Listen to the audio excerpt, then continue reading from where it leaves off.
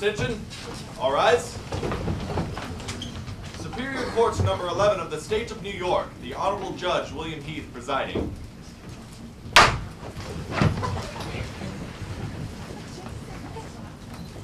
People of New York versus Karen Andre. Ready, Your Honor. Ready, Your Honor. If Your Honor, please, I would like to report that I have issued a warrant for the arrest of Larry Regan, as he is obviously an accomplice in this murder. He has disappeared. And as he was last seen with the defense counsel, I would Oh, like to state that I believe. Keep your shirt on. What'd you think I appeared for? Just to give you guys a thrill? I'll stay here. No need to issue any warrants. If she's guilty, I'm guilty.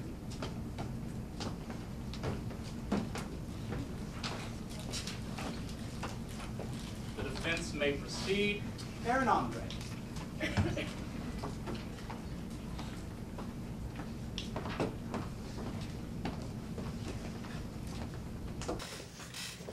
Miss Andre, when you took the stand yesterday, did you know the whole truth about this case?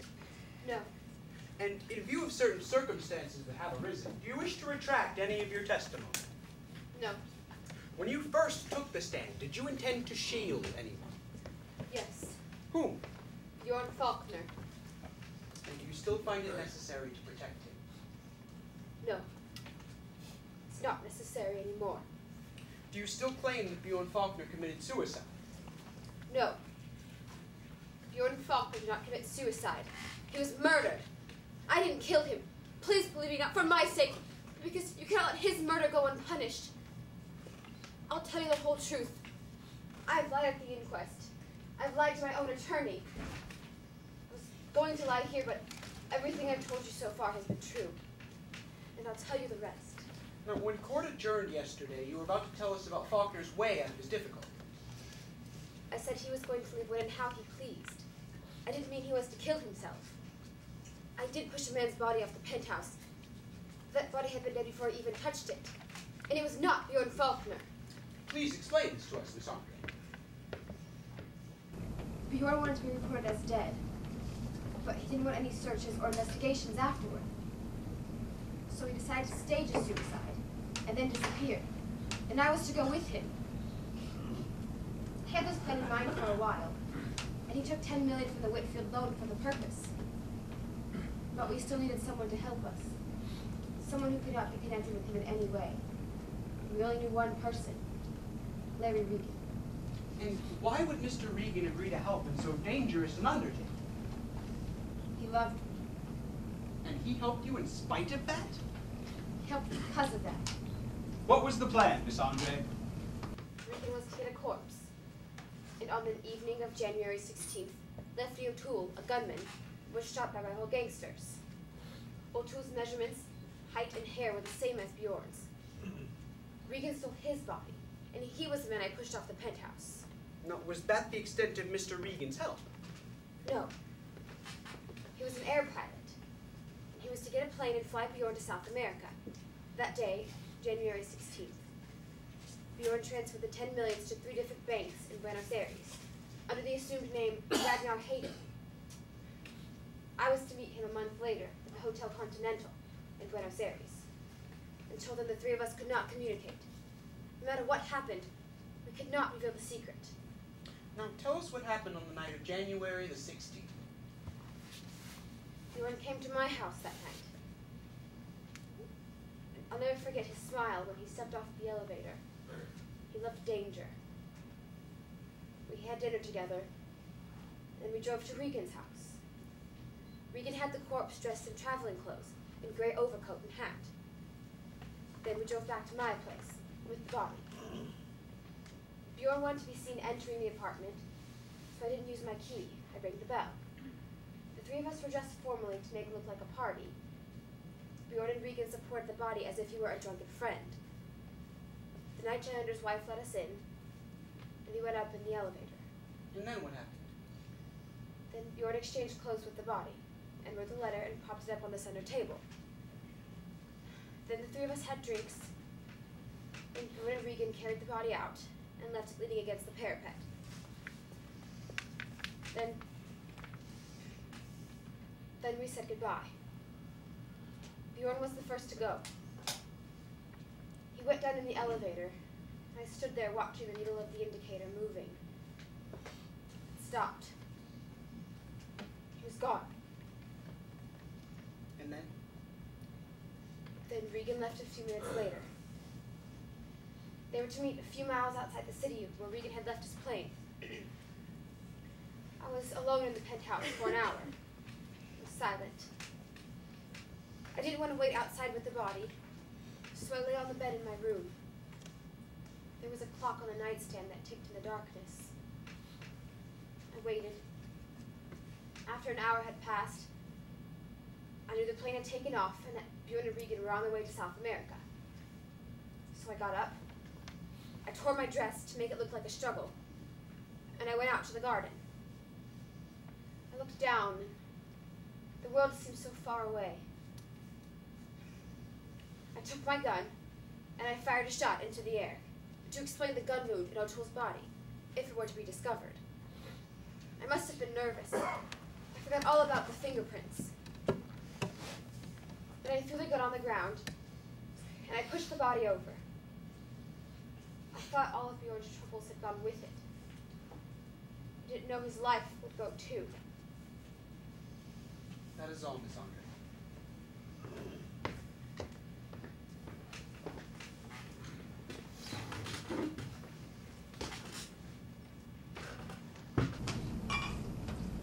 Miss Andre, you said you lied at the inquest. Yes.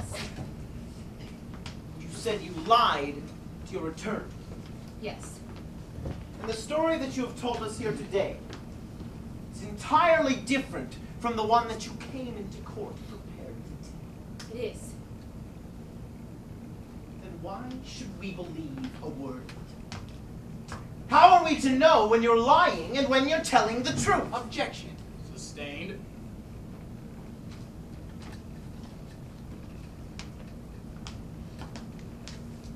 Now tell me, Miss Andre, didn't Have a clear conception of the difference between right and wrong?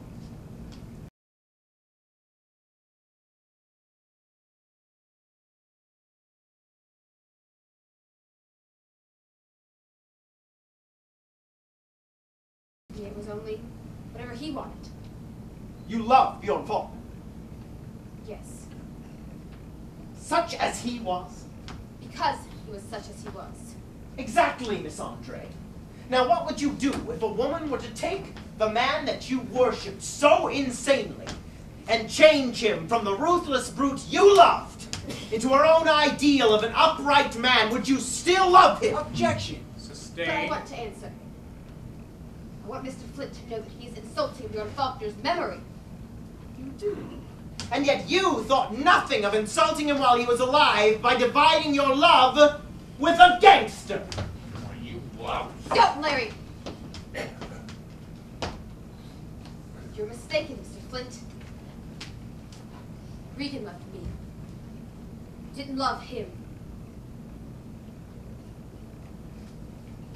You didn't demand your love or his help. He demanded nothing. You didn't ask him to help you take revenge on your first lover. No.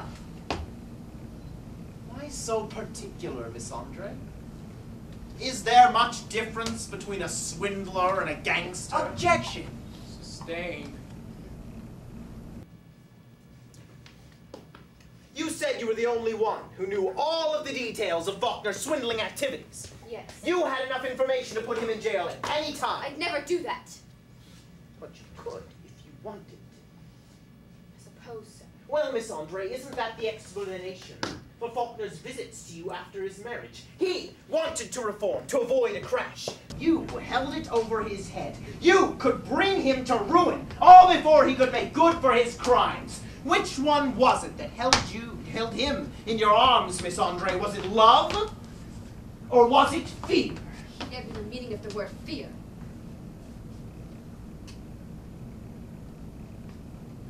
Who knew about that transfer of $10 million to Buenos oh Aires? Bjorn, myself, and Regan. Not just yourself and Regan alone. With your knowledge of Mr. Faulkner's business and your ability to forge his signature, could not you and Regan alone have transferred that money? That would have been necessary. He would have given me the money had I asked for it.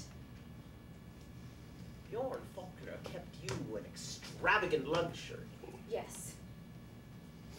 You hated to change your mode of living. To see him turn his fortune over to investors, to see him poor.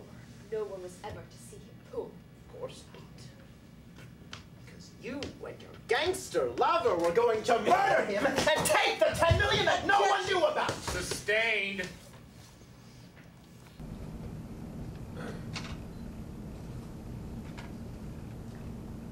You've heard it testified that Mr. Faulkner had no reason to commit suicide, that his marriage to Miss Whitfield had given him the first happiness that he had ever known. And you hated him for that happiness, didn't you? You don't understand Bjorn! Maybe I don't understand Bjorn. But let me see if I understand you. You formed a partnership with a swindler on the first day that you met him, and with him you defrauded thousands of investors the world over. You cultivated a friendship with a notorious gangster. You helped in a $25 million forgery. This you have told us plainly, flaunting your defiance of all sense of honesty. And you don't expect us to believe you capable of murder, Miss Andre? Wrong, Mr. Flint. I am capable of murder. For Bjorn Faulkner's sake.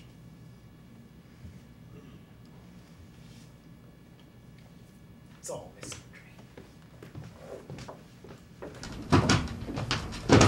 Lawrence Regan.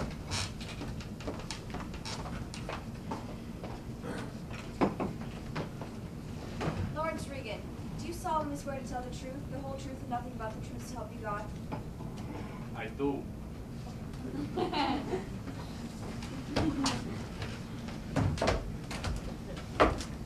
What is your name? Lawrence Regan. And what is your occupation? Unemployed. Now, how long have you known Miss Andre? Five months. And where did you first meet her? Faulkner's office. I went there to do business with him. I gave up the business. I'm a secretary. And how did you happen to become friendly with Miss Faulkner? With Miss Andre, pardon. First meeting wasn't exactly friendly. She wouldn't let me in to see Mr. Faulkner. She said I had enough money to buy orchids by the pound and had no business with the boss. Said I'd think it over and wait. Thought it over, only I didn't think of the business. I thought of her. The next day, I sent her a pound of orchids. That's how it started. Now, did you know that Miss Andre loved Bjorn Faulkner? What up? I knew it was hopeless for me, but I couldn't help it. And you never expected Miss Andre to share your feelings. No. And you never tried to force your feelings upon her. You have to know all that? I'm afraid we do. Kissed her once, by force. It was the night of Faulkner's wedding.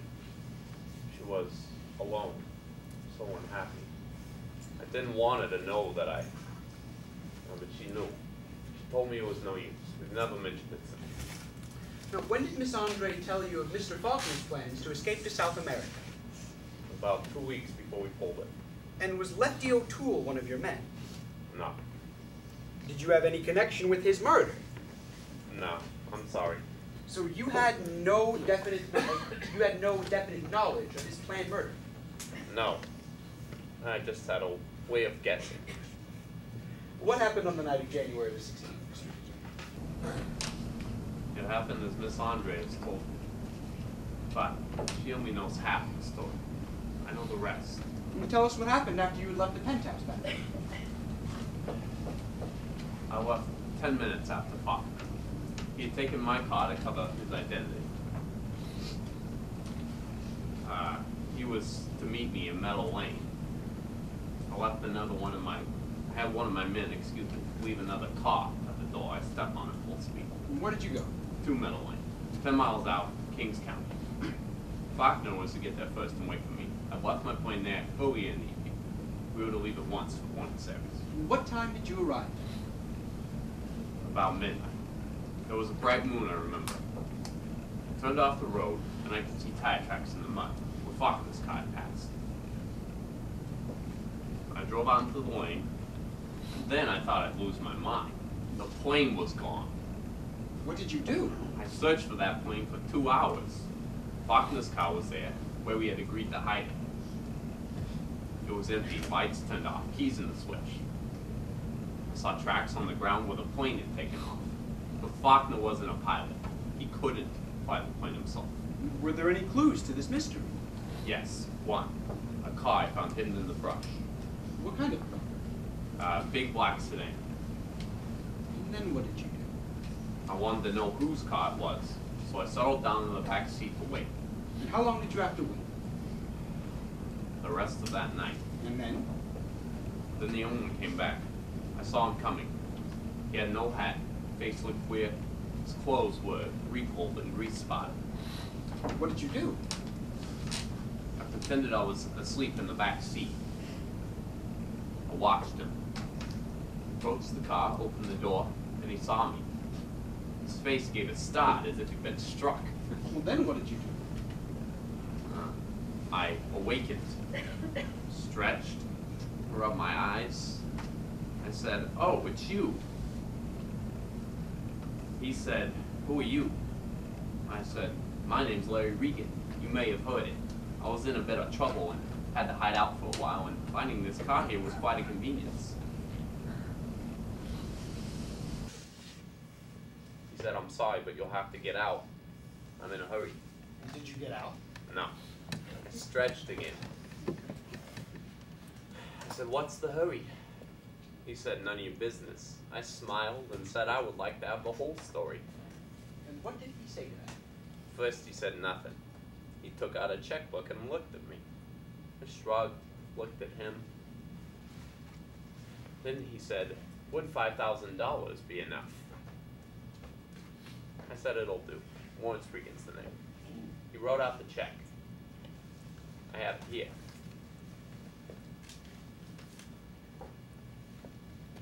We offer this check in evidence. What is all this nonsense? Who was the man? Who was the man, Mr. Regan? I'll let the clerk read that check to you. Would you kindly read the check? Paid to the order of Lawrence Regan the sum of five thousand dollars. Signed, John Graham Whitfield. This is an outrage! I demand to see that check! We offer this check in evidence. Objection! Objection overruled. Submitted in evidence.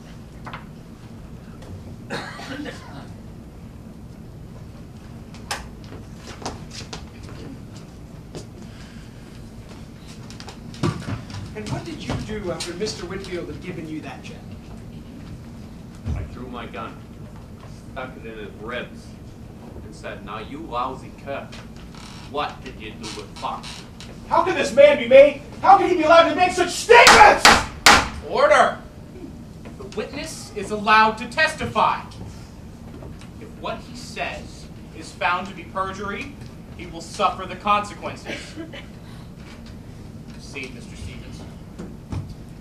What did he answer to that, Mr. Regan? First he muttered, I don't know what you're talking about. But I jammed the gun harder and said, I've no time to waste. Where did you take him? Did you get any information out of him? Not a word. I talked and threatened. It was no use. I let him go.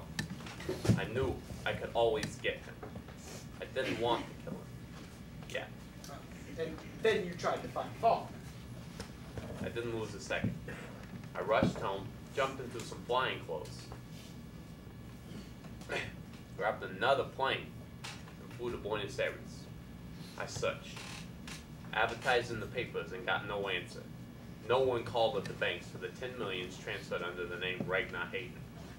Mm-hmm. Well, then did you try and communicate with Sandre? Well, we no. I mean, She was arrested for Faulkner's murder. We promised not to see each other for a month. I laughed when I read that, but I couldn't say word. Not to betray Faulkner if he was still alive. What did you do? I waited And what were you waiting for? for the month to pass. February the 16th. I went to the Hotel Continental in Buenos Aires and I set my teeth. And I waited every minute of every hour of that last day. He never came. And then? Then I knew he was dead. I came back to New York, started a search for my plane. We found it yesterday. And how were you able to identify it? Well, I was able to identify the plane by the engine number. Mm-hmm. It had been landed and fire set to it in a deserted valley in New Jersey, 20 miles from Meadow Lane. And was the plane empty? No, I found the body of a man in it. Could you identify him? No one could. It was nothing but a burned skeleton. I examined the body, or what was left of it. The height was the same. It was Faulkner. I found two bullet wounds in the bone. One through the right hand, the other over the heart. He must have been disarmed first, shot through the hand, then murdered, senseless, straight through the heart. That is all, Mr. Regan.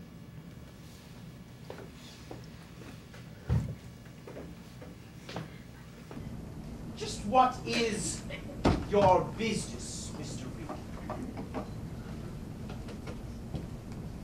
I have refused that information to others. It would seem so partial if I only told you. What do you do when a prospective client refuses to pay you protection? I'm legally allowed not to understand what you're talking about.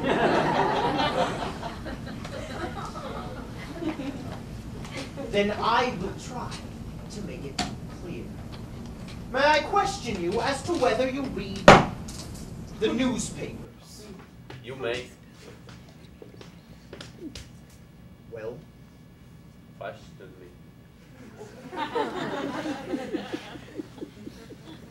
kindly state whether you read the newspapers.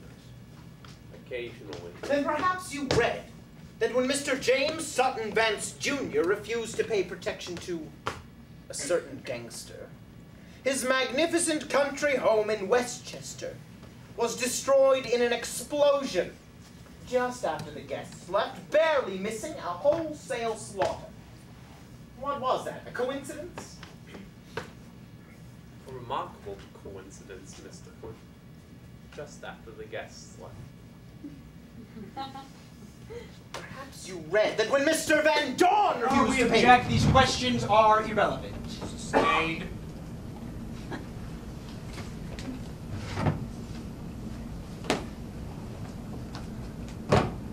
So you had no ill feeling towards Mr. Faulkner for the failure of your business with him. No. Now, Mr. Lawrence Regan, what would you do if someone were to take from you the woman that you love so much, and then cast her aside simply because he found someone else with more money? I'd cut his throat with a dull saw. You would. I would. And yet you expect us to believe that you, Larry Regan, gangster, outlaw, scum of the underworld, would step aside with a grand gesture and throw this same woman back into the arms of that same man? Honor, we object. Sustained. I loved her. Then why did you allow Faulkner to visit her after his marriage?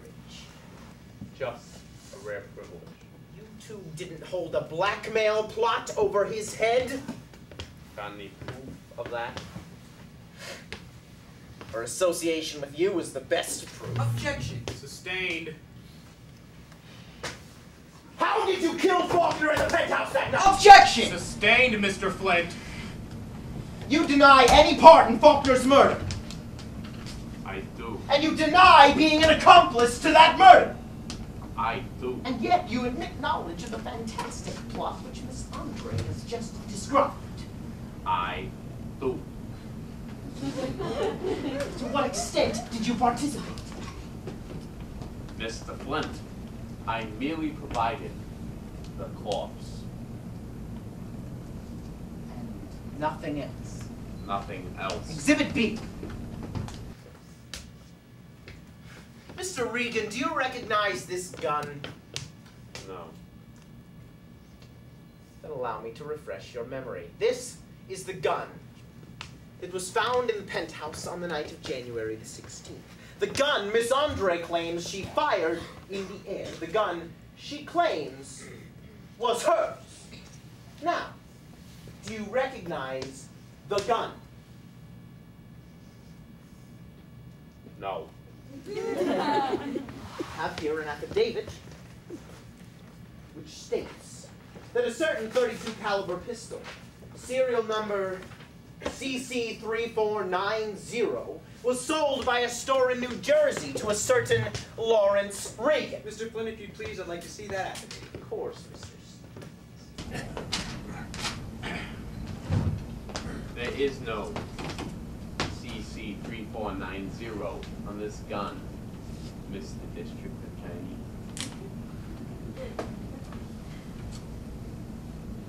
No. Did you ever hear of the heat test? No. It's true. The number on this gun has been filed on. But when heated red hot, it still discloses the serial number CC3490. This is satisfactory, Mr. Flint. Submitted as evidence. Accepted as Exhibit F. You admit that you were in the penthouse with Miss Andre and Mr. Faulkner on the night of January the 16th. Who?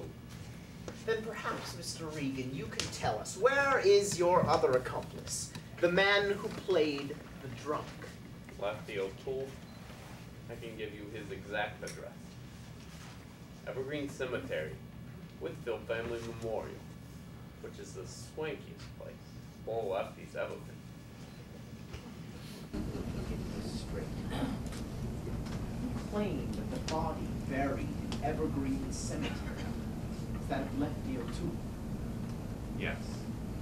The same corpse that was thrown from the Faulkner building. And the man that you found in the burned plane is Bjorn Faulkner. Yes. What's to prove it isn't the other way around? Supposing you did steal O'Toole's body, what's to prove you didn't stage this whole fantastic thing yourself?